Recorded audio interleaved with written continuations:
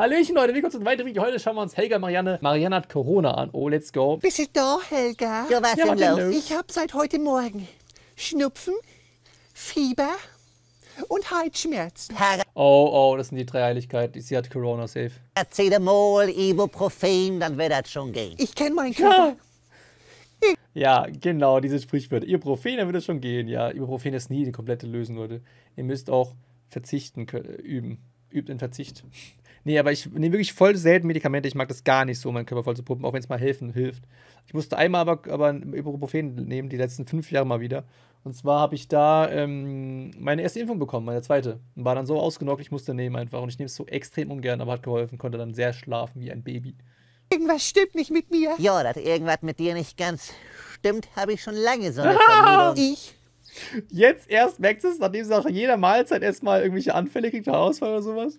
Heute Morgen direkt einen Corona-Test gemacht. Corona? Das gibt's noch? Und was soll ich dir sagen, Helga? Lass mich raten. Gibt's da ist so viel schon wie nie, ne? Gibt's viel mehr Corona als äh, mittlerweile. Inzidenz so hoch wie Ach und Krach. Ich hau alle Sprichwörter raus gerade. Positiv! Ja. Positiv! Ja, irgendwann erwischt das jeden, da kannst du nicht mehr vorwegrennen. Mir ist schon ganz komisch. Nun beruhig dich, du bist doppelt und dreifach geimpft, eine alte Oma bist du auch noch nicht. Also, Aber wenn ich jetzt einen schlimmen Verlauf hab, Morian, Und es trauen sich trotzdem so nah an dem Balkon da zu stehen und mir dann zu quatschen. Ich meine, Marianne ist keine alte Frau, aber sie ist eine alte Frau.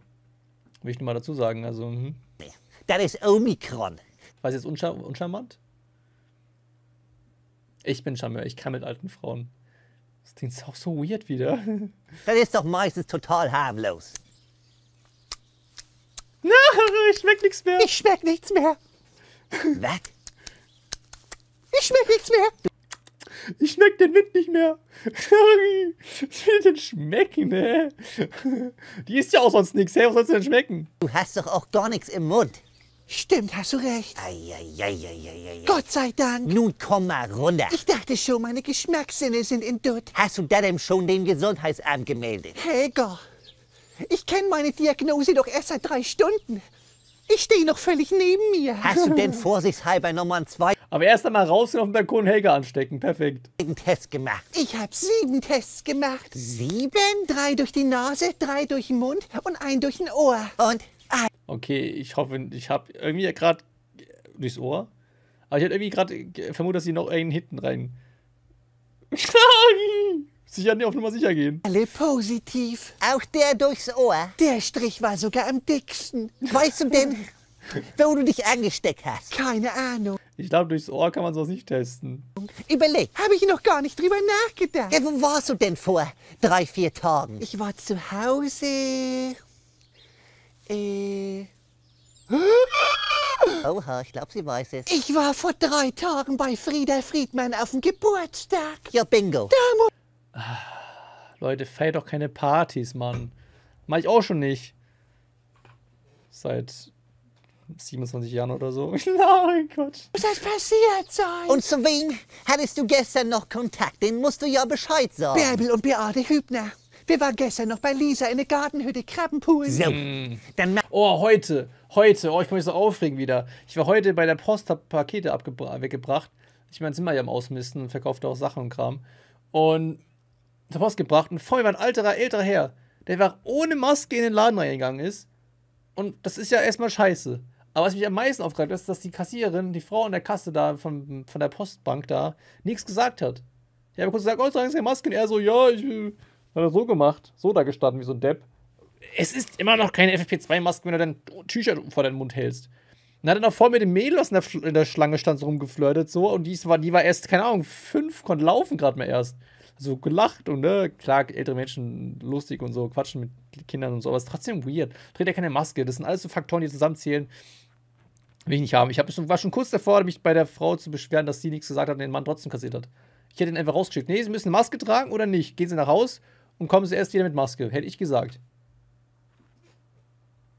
Wirklich. Also, nee. Ich hätte jetzt theoretisch auch aufnehmen können im Handy, fotografieren und die äh, hätten dann eine Anzeige von dem Staat gekriegt. Dann ist der Laden zu, die Post. Oder kriegen eine Klage, wie auch immer, geht in den Kopf. Also, was ist denn das? Das ist ja auch geschäftsschädigend. Sowas regt mich mal auf, sorry. Kommt Allmann aus mir raus. Aber ist ja auch wahr. Machst du das nachher mal? ganz in Ruhe rufst du da mal an und dann sagst du denen mal, Bärbel, ruf sofort einen Krankenwagen, du hast Corona. äh, Ja, und Lisa sind auch positiv. Wir sind alle positiv. Morianne, Ich schmeck nichts mehr, Bärbel. Morianne, sag, Stell dir mal, du bist am Handy gerade, du hast doch so ein. so was? Bärbel, sie soll sich in Ruhe nur testen. Und du beruhigst dich hier jetzt mal. Bärbel, Helga sagt, du sollst ins Krankenhaus fahren, vorsichtshalber. Sag mal, Sie hat geschrien und dann aufgelegt. Corona ist in den meisten Verläufen doch lange nicht mehr so. Ah! so gefährlich, wie das mal war. Oh nein. Was ist denn nun schon wieder los? Ich muss ja in Quarantäne. Ja klar, mindestens eine Woche. Ich habe überhaupt keine Sachen mehr im Haus. Woher soll Helga freut sich jetzt. Ja, klar, gehen in die Quarantäne. Lass mich in Ruhe bitte die Woche. Endlich Urlaub. ich denn jetzt Klopapier bekommen? Morianne, wir beide sind Nachbarn. Oh, apropos Klopapier und so. Aktuell kaufen die Leute ja wieder Öl weg wie nichts, nur um eine Sprit voll zu tanken. Weil bei Dieselautos kann man tatsächlich auch äh, Pflanzenöl eingießen. Scheinbar, es geht trotzdem. Ähm, das ist günstiger als, als Sprit aktuell. Problem ist trotzdem halt auch, mein Mehl ist weg. Ich kaufe ja in meinem Umkreis hier Radius, gibt es keinen Supermarkt, außer einen, der ein glutenfreies Mehl hat. Und bei dem einen gibt es jetzt kein Mehl mehr. Das ist, der Laden, das ist halt weg. Das ist nicht mal leer gewesen. Es gibt nicht mal ein Schild, wo mal glutenfreies Mehl steht. Einfach komplett weg. Ich hätte mir mehr im Vorrat kaufen müssen. Ich hätte mal alles wegkaufen müssen jeden Tag. Sch- Jetzt habe ich kein Mehl mehr. Jetzt kann ich auch keine Pancakes mehr machen zum Frühstück. Es ist so ätzend, wirklich. Ich könnte auch woanders gucken, anderen Laden noch. Ich war bisher bei drei, vielleicht beim vierten Jahr. Muss ich so weit laufen immer extra. ich beschwere mich gerade laufen im Band. Du bist meine beste Freundin. Ist so. Ich schreibe dir gleich eine Liste auf mit Leuten, die Zeit haben, dir was zu holen. Oh, das ist so süß. Oh. Aber ohne Telefonnummer, da musst du dir selber raus. Okay. Danke, Helga. So, und nun ab ins Bett mit dir. Prost Mahlzeit und ich wünsche dir einen frohen Verlauf. Danke, Helga. Mogdad, Wog da. Süß. Mogdad. Drei Wochen später. bist du da, Helga? Ja, was denn los? Ich kann nicht mehr. Ich bin jetzt drei Wochen in Quarantäne und Warum drei Wochen? Hä? Nicht nur eine Woche? Immer wieder positiv oder was? Klar, kannst erst wieder aus Quarantäne raus, wenn du positiv, äh, negativ bist, meine ich. immer noch positiv. Was? Immer noch positiv. Ich dachte, du bist irgendwo in Urlaub gefahren. Ich war die ganze Zeit im Bett. Drei Wochen lang. Und wie geht dir das? Ich hatte nur einen Tag Symptome, danach ging's schon wieder. Seit drei Wochen bist du positiv. Das ist aber schon ein bisschen komisch auch, Morian. Ich verstehe das Aber wenn dazu immer denselben Test genommen, oder? Das wäre jetzt so, wenn sie den Test nicht gewechselt hätte. auch nicht.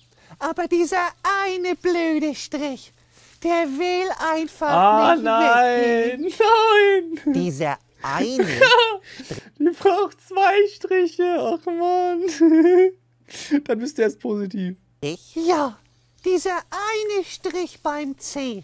C für Corona, der will nicht weggehen. Da waren aber schon zwei Striche, ne Moriane? Da war ein Strich beim C.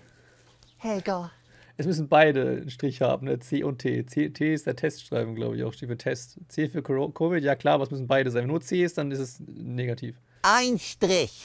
ja, Geh mal ins Internet und google mal Corona-Selbsttest. und dann, Einfach mal machen. aber ich, Moriane, ich muss, mein Mann hat Hunger. was gibt's denn? Sushi. Kann ich nicht. Wieso? Krieg Flöhe von. Ja, dann Oh, Flöhe von Sushi. Ich habe schon andere Sachen von Sushi mal bekommen, aber keine Flöhe. gute Besserung. Dir auch. Mokdad. nice, ey, geile Video wieder. Äh, lasst einen Test da, Daumen hoch da. Habt, hoffe, ihr habt alle negativen Tests zukünftig mit einem Strich. Und ich wünsche euch keinen zweiten Strich, ansonsten haut raus. Pow! Yo, ich bin ein Profi. Die Profi nur mit B, so wie Brody. Und ich mach mal wieder Musik. Ist ja nicht so, als hätte ich's schon gemacht. Denn yo,